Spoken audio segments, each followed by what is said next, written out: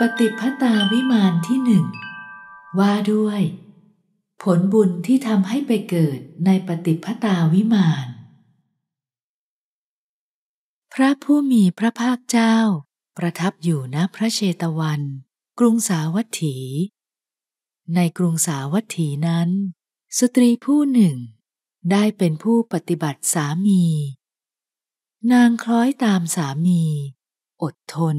ถือโอวาทสามีโดยเคารพ แม้โกรธก็ไม่หุนหันพลันแล่น ไม่พูดคำหยาบ พูดแต่เรื่องจริง มีความเชื่อและเลื่อมใส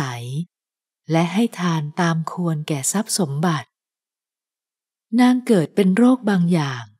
ก็ตายไปบังเกิดในภพดาวดึง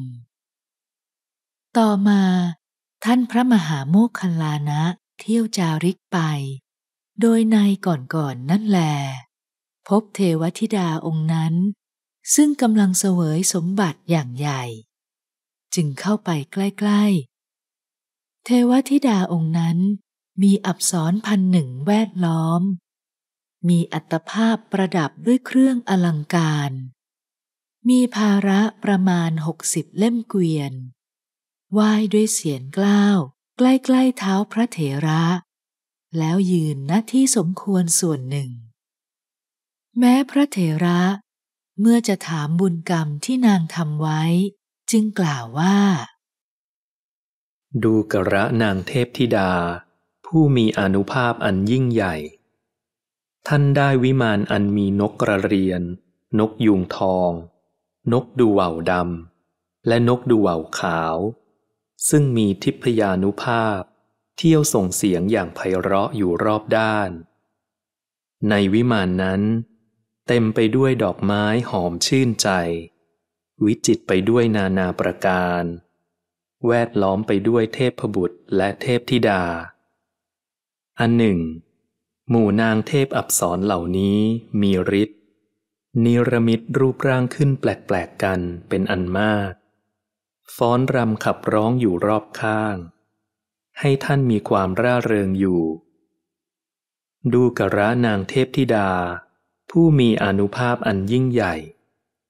ครั้งท่านยังเป็นมนุษย์ได้ทำบุญสิ่งใดไว้ จึงบรรลุความสำเร็จ ท่านมีอนุภาพรุ่งเรืองอย่างนี้ และรัศมีกายของท่าน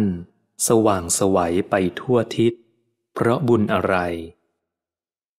นางเทพธิดานั้น อันพระมหาโมคคัลลานะซักถามแล้ว มีใจยินดี ได้พยากรณ์ปัญหาแห่งผลกรรมที่ถูกซักถามว่า ครั้งดิฉันยังเป็นมนุษย์อยู่ในหมู่มนุษย์ ได้เป็นผู้มีสัจจะมั่นในสามี ไม่ประพฤตินอกใจ มีความจงรักต่อสามี เหมือนกับมารดารักบุตร แม้ดิฉันจะโกรธเคือง ก็ไม่กล่าวถ้อยคำอันหยาบคาย ละทิ้งการพูดเท็จเสียดำรงมั่นอยู่ในความสัตย์ยินดีในการให้ทาน ตามปกติชอบสงเคราะห์ผู้อื่น เช่นกับสงเคราะห์ตน มีใจเลื่อมใส ได้ให้ข้าวและน้ำอย่างดีเป็นทาน โดยความเคารพ ด้วยความเป็นผู้ถือสัจจะมั่น เหตุนั้น ดิฉันจึงมีผิวพรรณถึงเช่นนี้ อิทธผลจึงสำเร็จแก่ดิฉันในวิมานี้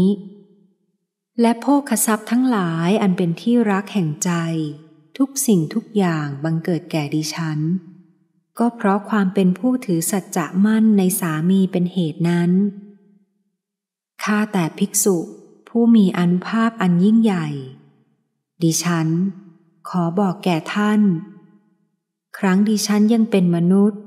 ได้ทำบุญสิ่งใดไว้ เพราะบุญอันนั้น ดิฉันจึงมีอนุภาพรุ่งเรืองถึงเช่นนี้ และรัศมีกายของดิฉัน จึงสว่างสวัยไปทั่วทุกทิศ จบ ปฏิพตาวิมานที่หนึ่ง